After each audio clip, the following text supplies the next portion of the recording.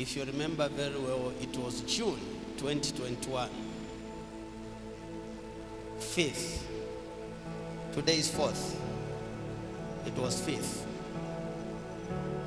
From Saturday to Sunday, when my father in the Lord, your father, those who, who believe that he was a prophet of God, passed on to the glory. Every year, celebrating the life and the legacy of Prophet TB Joshua. A disciplined child always honor his father. Even in his death, you honor your father. Even if your father was a poor man, you honor your father. No matter what people say about your father, he is your father.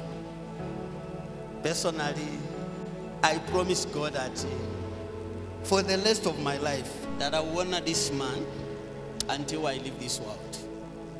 I know where I am coming from. I know what this man has done for me before he passed on. He raised me. He imparted something in me. I told you that a lion will never, will never give birth to a chicken. Even if it is a small lion, at least you see the sign that they're walking. This one looks like what?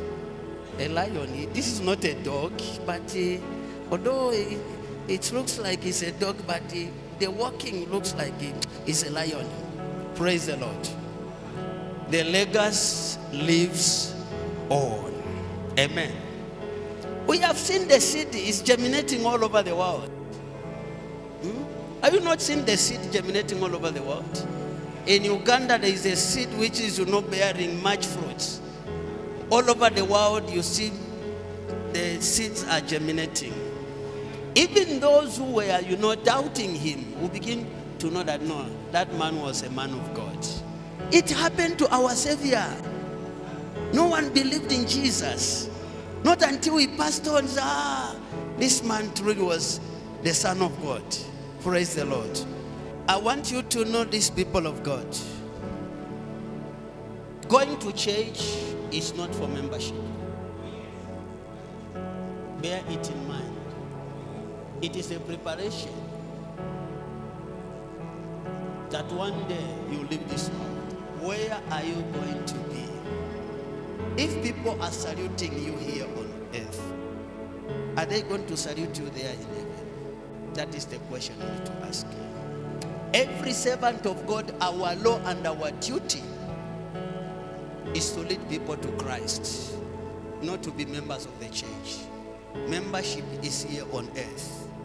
If you leave this world, where you are going, there is no membership, only children of God. This is why we need to appreciate the life of the apostles, the prophets,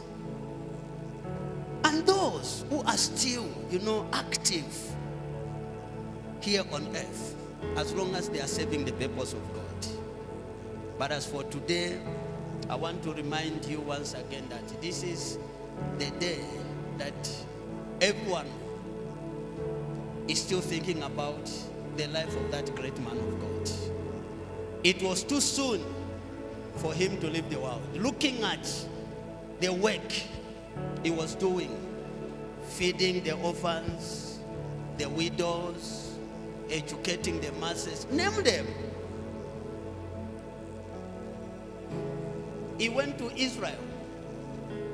You watch that clip. He bought how many dialysis machine? Millions and millions of kwacha. A dialysis, one dialysis machine, but he bought them uncountable and gave it to the people who are not even Christians. He is my father. I don't know you the way you, you feel if I talk about this one, but uh, that is for you. For me, I promise God that I'll continue honoring the legacy of this man.